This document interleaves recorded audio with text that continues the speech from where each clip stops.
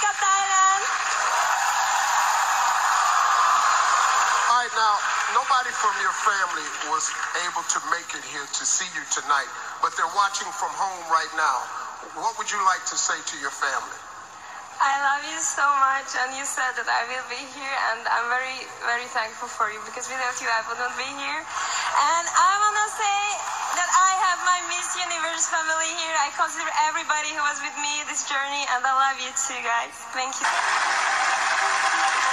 After I graduated at high school, I decided to travel as a model. I end up in the most beautiful places all around the world, but I felt so aimless and alone.